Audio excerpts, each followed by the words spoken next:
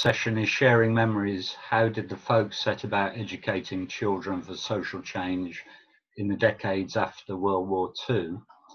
Implicit in the title is the possibility that the folks' approach to education for social change has changed over time. Um, the woodcraft folk today isn't necessarily approaching that in the same way they approached it after the Second World War. I've written a book which self-published uh, attempts to look at what I think were uh, significant shifts in the way in which the woodcraft folk approached education for social change in the interwar period. Um, I'd be more than happy to take comments, however critical, um, or questions in relation to that. But in this session, I wanted to push it a little stage further. You see, I was uh, born in 1952, and uh, in 1963, as you see in the picture, I was just about to become a pioneer. And uh, my experience of the folk obviously shaped how I approached the book. Um, I think that one of the points that came out of a uh, a seminar or a symposium, as it was called, on education for social change at the Institute of Education was the idea that maybe some of the history of the folk should be written from the point of view not of the adult leaders, but also incorporating the experience of children and young people. Now, that's quite difficult for the 1930s for obvious reasons. Most people who were young or children at that age are no longer with us, and, and archive records are very scarce when it comes to those sort of experiences. But we can do a little bit more when it comes to the post war years because people of my generation lived through those. In my case, uh, my memories are mainly confined to my uh, pioneer years and adventurer and, and early leader years in the 1960s and early 70s. Uh, but there are other members of the folk who have been through that, and maybe they could contribute their memories too. Now, memory is a difficult thing. It's fickle. You, you not only are selective in what you remember, but you're also influenced by subsequent developments and experiences. And in my case, in particular, I would say I've been influenced in my understanding of the folk by my parents and relatives who have also been active in the folk. Um, in this picture, which is taken from my grandmother's uh, photograph album of woodcraft folk, uh, 1945, you see uh, uh, ballooned in the uh, top row there is Basil Rawson.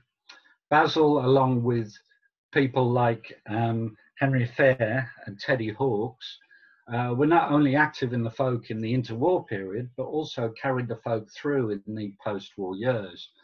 And so was true of on the right, on the second row down, my grandmother, uh, Ivy Burston, a folk named Green Star, and my mother on the left-hand side of that row, who's ballooned, uh, was also involved in the folk as a teenager in the 30s. Below them is Arthur Kesterton, I think. I'm not absolutely sure. He was the leader of my pioneer group when I was growing up in the folk. Now, my point here is that my understanding of the folk was not only influenced by my own experience directly, but also the experience of my family and my family's friends. Um, I don't think it's an exaggeration to say that all my family holidays were woodcraft holidays nearly all of my family outings were woodcraft outings. Uh, that's simply the way in a very small organization, very committed to the woodcraft folk, that's the way it worked. And so there was no separation for me between how I saw the woodcraft folk and how I saw my family. They were part of the same continuum.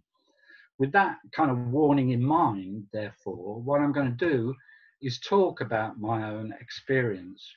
But first, I just want to suggest a way of corroborating those personal experiences, which may not reflect the general experience and which are tainted by being a memory.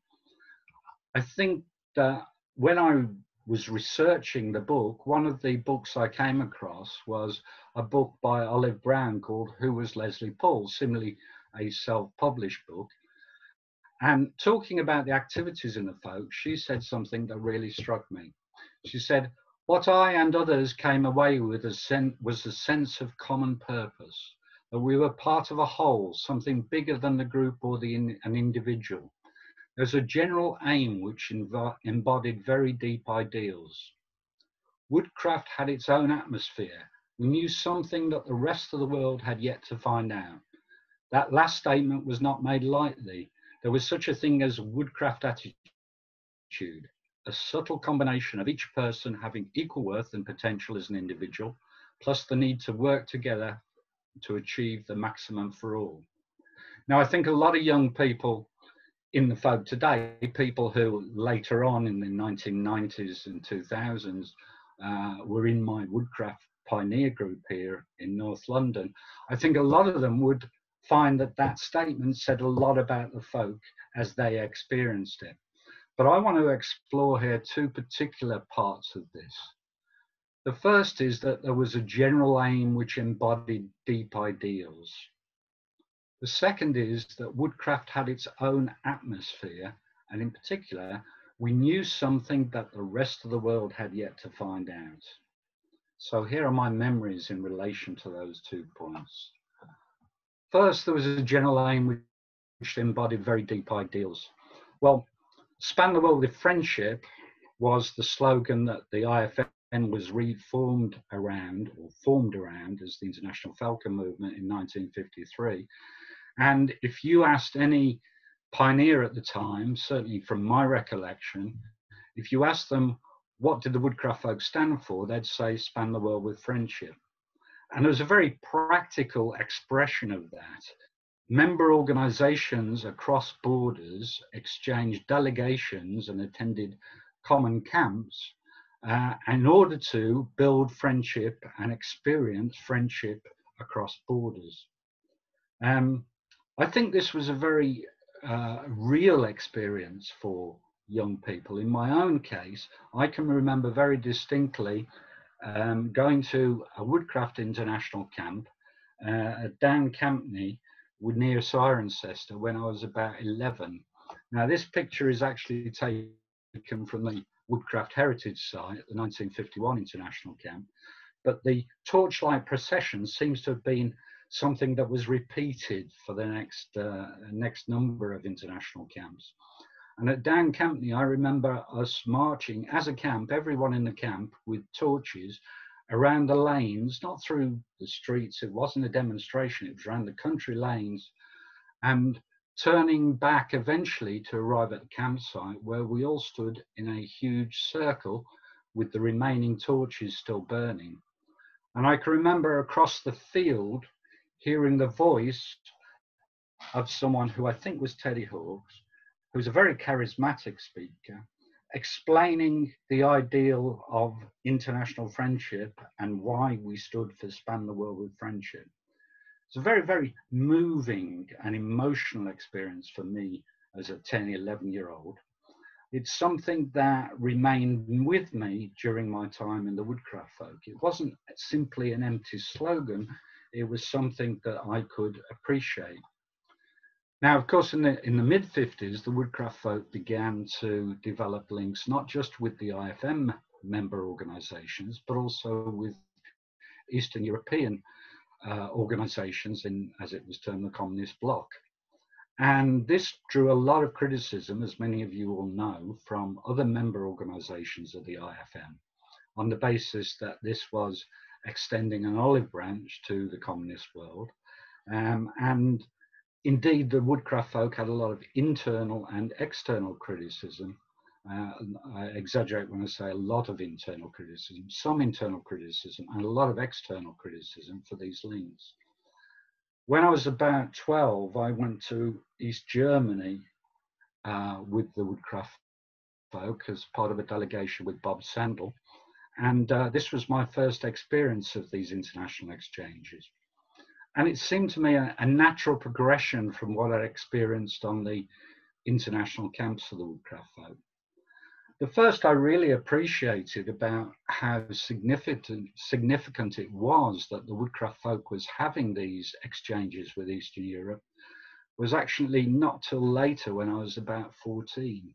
Our school had an exchange with students from a, a town in West Germany and they were coming over and one of them was staying with me and so my father suggested that the certificate I'd obtained at the camp in East Germany um, that said I was a potential astronaut or something like that, uh, this certificate should come down off my cupboard door because it might upset my guest from West Germany. Um, my father had a lot of foresight because when I went to Germany the following year, I actually found out that um, the person I was staying with, their their family were closely linked with the NPD, which was the kind of neo-fascist organization in Germany at the time. Now, I didn't take from that that all West Germans were fascists or anything like that. My education in the woodcraft folk had warned me against such generalizations, but it does illustrate the tension that existed around these international links. Now, Another element of the woodcraft folk at that time, I think, was the use of ceremony. And to what extent did Span the World with Friendship get developed in as a theme through these ceremonies? I can remember the ceremonies very clearly. Every Elfin and Pioneer group nights, you recited the creed. And there were lots of ceremonies at camp, in particular the camp firelighting ceremony, that uh, we used on a very regular basis. When you look at those ceremonies, this theme of international friendship is not so clear cut. Leslie Paul said that, uh, I think around 1940 41 in a, a Woodcraft journal, that these uh, ceremonies were intended to be poetic, and that's certainly the case. And with poetry comes a degree of ambiguity uh, ambiguity designed to get the reader or listener to actually think a little more deeply about the words being said.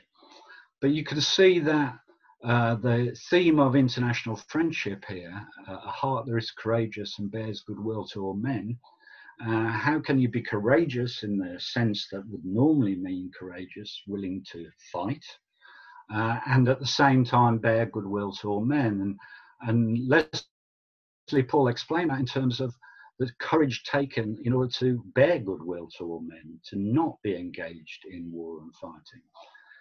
But this was very, very unclear to me. And most of these ceremonies, ceremonies uh, like the envoy, um, peace unto all, peace unto all, notwithstanding, a lot of these ceremonies were more about the individual, how the individual should be, how the, what the individual should strive for. And as you can see, it was very much wrapped up in this image with woodcraft folks' Red Indianism, the teepees, the campfire, the drums, the totems, the symbolism of the uh, association with the idealized Native American Indian. Now, this hadn't gone from the woodcraft folk in the post war period. Uh, this is another picture from my grandmother's uh, photograph album uh, of S.H. Uh, Walker, folk named Taronki Wambly, at the Wyre Forest in 1947. And up on the right hand side, you can see the 1944 publication, Camp and Trail, which he wrote, which is illustrated with the uh, Indian chief pointing the direction to the young woodcrafters, uh, and in the background, the teepees of an encampment. Uh, the use of folk names, the painting and decorating of tents, he's sitting in front of his tent in the picture, and you can see a buffalo and an eagle painted on the side of the tent. That kind of red Indian imagery was part and parcel of the woodcraft folk in later years. Um, it was starting to disappear, but you can see that in 1947, uh, this is my grandmother's uh, uh, little caption, Indians do their stuff, um, the Woodcraft folk was on occasions playing Indian. Um, and whilst that uh, receded, I can't remember Birmingham Woodcraft in my time having a totem pole. I know that a lot of other districts did have totem poles and erected them at camp, uh, and that the notion of the idealized Indian was still contained in the songbook in songs like um, Blue Lake and Rocky Shore.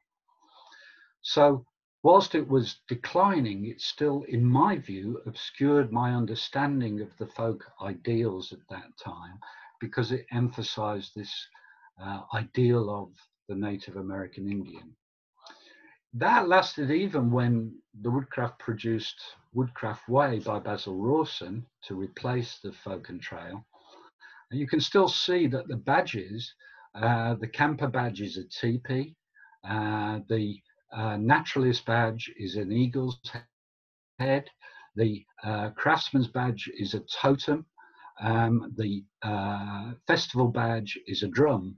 These same images were still repeated. But of course, by this time, the uh, system of badges and tests became essentially the Woodcraft Folks national curriculum.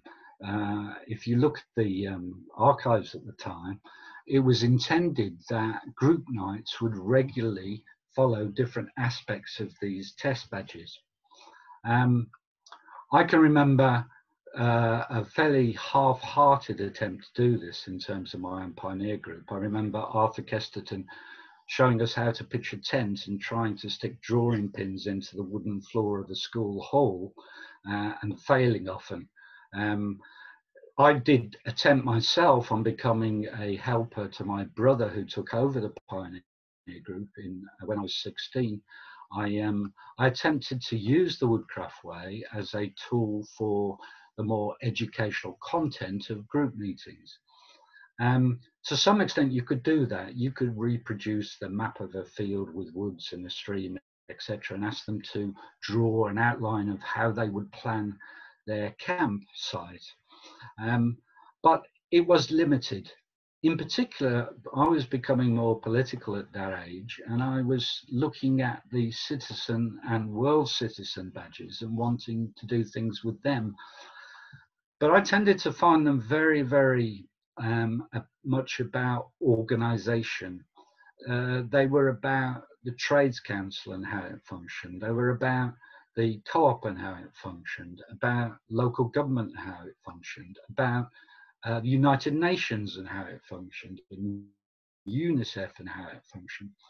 It didn't really give me a feel of a labour movement history or a feel of the labour movement as an active force in society. Uh, it reminds me when I taught politics um, at A level uh, in a further education college. Uh, at AS level, it would all be about the structures of parliament and pressure groups and so on. And at AS, A2 level, it would be all about political ideology. Well, the Woodcraft Way was a bit like that. It was all about structures and very little about ideas, as far as I could understand. I tried to explore other avenues. I tried, for example, a session where we played pop music, partly because that was an attempt to key into the interests of the pioneers, but also because it was the period of the crossover in in pop music, the crossover from African American to white North American and, and European music. And I was trying by using the Beatles and the Stones and soul music to encourage a discussion about uh, where our music comes from. Uh, but I, I, was inexperienced and uh, naive and having difficulty with doing that. Uh, in many places, I think, and particularly that's my own experience in Birmingham, Despite the efforts to continue with badge work or test work, uh, there were very severe limits to that. There was another aspect, however, to the Woodcraft folks' education for social change, and I think that was never in the center of the Woodcraft folks' stated process of education, but it was always present. And of course, one element of it was that if you're for spanning the world with friendship, then you're, opposed to war. Um, in 1958, the CND was formed and the annual marches from or to Aldermaston began. And in uh, 1960, the Woodcraft folk debated uh, at the ADC whether to move the date of the ADC from Easter so that people could participate in the march. It, it, wasn't carried, but there was clearly a current of opinion. And by 1961, the folk conference was sending a telegram to the cited 121, 120 Woodcraft marchers on the Aldermaston March, uh, expressing solidarity. I don't think it was ever formally adopted by the Woodcraft folk that it supported the aims of the campaign for nuclear disarmament. I personally can remember as a child going on one of these marches. I don't remember uh, whether I was part of a Woodcraft contingent or whether it was simply a, family affair. As I say, the lines between the two were very blurred for me as a child. But I do remember the songs that came out of that, songs like the H Bomb Thunder and songs like uh, The Strangest Dream, which became part of the folk lexicon. They were sung at camps, they were sung uh, at group nights on occasions. They were part of the subculture, if you like, of the woodcraft folk. That developed further as the 1960s went on. Um, the 1965 bombing of North Vietnam resulted in a shift within the peace movement as a whole, within CND as a whole, to highlighting the issue of Vietnam. As you can see, these are this is again from the Woodcraft Heritage site. Uh, here, Woodcrafters are marching with the uh, banners Vietnam mothers love their children too. The children of Vietnam are our children. And at the 1967 annual delegate conference, which I was present at, uh, there was a motion put that the Woodcraft folk should uh, condemn the bombing and support peace through negotiations, and in particular efforts to solve the problems of Vietnamese children, particularly through medical aid for Vietnam. Um, I can remember sitting and watching the debate, I think I was 14, 15, um, and very much in support of the motion. And I was kind of astonished when, when the motion was carried. Four or five teenagers, roughly my own age, maybe a little bit older, got from up on the floor of the conference and went round collecting for medical aid for Vietnam. Again, that that made an impression on me as to what the woodcraft folks span the world with friendship uh, meant. Now, there were other elements of the woodcraft folk subculture, in particular its songs, which I remember very clearly as a child. Um, the 1957 Little Rock confrontations over desegregation of schools followed the uh, uh, Supreme Court verdict that the schools had to be desegregated. And there was a song written at the time to celebrate that, um, that uh, ruling of the Supreme Court. The first verse of it is up there. It says, Their robes are black, their heads were white, the schoolhouse doors were closed so tight. Nine judges all set down their names to end the years and years of shame. Now, that is actually the original first verse to The ink is black, the page is white. I don't know at what point the folks started to incorporate the songs of the civil rights movement into its songbook. The songbooks are never dated, as far as I can see, uh, and into its broader activities. But certainly as a child, I remember Kumbaya, We Shall Overcome, and so on. Um, of course, these were songs that were popularized by folk singers like Dylan, Baez, Pete Seeger, um, and the Woodcraft folks' tradition of using folk song as part of its subculture uh, extended to the incorporation of many of these protest songs.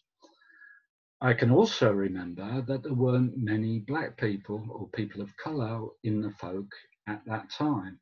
Uh, this was something very new to us. To me as a child, I grew up in a part of Birmingham that you just didn't meet black kids. Very, very exceptionally, there might be one in your school.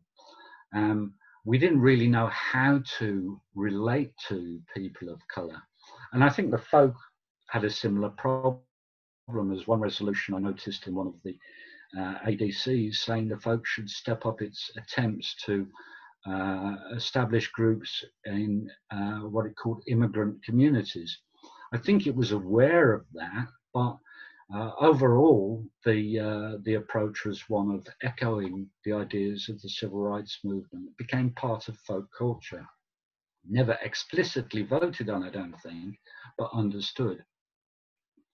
Now, I had a direct experience of uh, issues of anti-racism uh, when I went to an ADC in 1970 as a teenager, 17, 18, I can't remember exactly my age. Um, it was in the context of the Springbok tour and protests over anti-apartheid, uh, the rugby tour in 69 to 70, and then the cricket tour projected for 1970. Uh, these were direct action protests, of course, led by Peter Hain and anti-apartheid. Uh, and in the case of the cricket tour, led to remarkable scenes like you can see on the lower photo of barbed wire protecting the uh, cricket ground from being destroyed by anti-apartheid demonstrators. Now at that ADC there was a motion put to support the protests and um, a counter or not a counter motion, I saw it as a counter motion, but an amendment which said uh, we should also deplore and then it produced a series of situations in other countries, in particular in Eastern Bloc countries, uh, that the Woodcraft folk should also deplore. I haven't been able to trace the resolution yet because of COVID. I can't go to the archive. Uh, but I seem to remember the treatment of, uh, of uh, people in Tibet was quoted in relation to China. And I listened to the debate and I just felt really angry. I felt that uh, the whole point of the resolution was to identify the Woodcraft folk with legitimate protest over apartheid in South Africa, and this amendment was taking away from that. So I got up and spoke on it to that effect. And uh, I can remember Peggy Abrahamian buying me a drink in the bar afterwards, sort of as a thank you for having done that. But I mention this because it seems to me that there's an element there of uh, not because it was me, but because I was a young person, the vote actually shifting in the conference as a consequence of that. And I think this is to some extent what happened in relation to the Vietnam issue in 67, that it was the support of young people for that stance which swayed the Woodcraft Focus and Organisation. You see, the folk had a real problem about whether or not it was possible for an educational organisation to take any sort of political stance for obvious reasons. Um, the predominant view in British society was that education was neutral, politically neutral. Um, so it raised questions for the folk about how to answer it. Now, the picture you see there is my dad, Ted Palser, with next to Margaret White. And I think uh, Hyde Park, they were probably met up at a demonstration of some sort. My dad was on the education committee in the folk council of uh, of the folk for a time. And I asked him whether the folk was political. And I also, at a later date, asked Margaret White, and they both said, What do you mean by political? Margaret White was very clear all of life is political, everything is affected by politics, you can't avoid it. My dad made a similar point. He said, uh, Yeah, uh, there's party politics and then there's politics. And the Woodcraft folk is talking about politics. It's not aligned to a political party. This kind of explanation didn't always, I think, from my experience at ADCs, didn't really um, satisfy the section of the folk who felt it was stepping too far uh, along the line of identifying itself politically. Was it socialist? I asked my dad. He said, well, it's not professing socialism. What it's doing is educating children in the values of socialism. And so I asked him what he meant by that. He said, well, take Woodcraft Camp. When you go to camp, you all work together. However old you are, you can make some contribution to the running of the camp. And it doesn't matter whether you're a leader or a child, or male or female, doesn't matter whether you're six or whether you're 18, you can make a contribution to the running of the camp. And you can also contribute to the joint entertainment which we provide each other with at camp. In that said, the sense my dad said, we're creating a socialist community in which children can learn that way of life, those sort of values. Um, well, whether you call it socialist or give it a slightly less, perhaps provocative title of cooperative, uh, I think there was an element of truth in what he said. To me, that's how I understood woodcraft folk. And I think that explains a little bit what Olive Brown when she meant when she said woodcraft had its own atmosphere. We knew something that the rest of the world had yet to find out because you couldn't find it out if you weren't part of that experience of the camping community. That's why it was something for the folk itself, or perhaps similar organizations, for the folk itself to experience and to enjoy, rather than something that you were proclaiming to the rest of the world. And I think it links to where she went on to say, there is such a thing as woodcraft attitude, a subtle combination of each person having equal worth and potential as an individual, plus the need to work together to achieve the maximum for all. I think that you would probably find most people in the woodcraft folk would see that as being the case today. Uh, I can remember camps where teenagers would shout out to pioneers or elfins. That's not very woodcrafty. That was an expression of the idea that there was something about a woodcraft attitude that you acquired through the camping activities. So those are my memories. Um, for those of you who are of my age, I'd love to know what are yours. Um, for those of you of a different age group, I'd love to know how you see the woodcraft today in comparison to what I've suggested was the education for social change in my day. Thank you. Lauren, do you want to kind of bring people in? I can bring people in, or I think maybe if you stop sharing your screen, Rich, then we can maybe just mm-hmm. be nice and cooperative and woodcraft folk like and just be able to see each other a bit clearer and have a conversation, if that works better for people. Much better. Perfect. Now we can see everybody apart from me, I know, but you can see the woodcutting. But um, who would like to, would somebody like to say something, then we can get going. I'm going to pause. Interested in the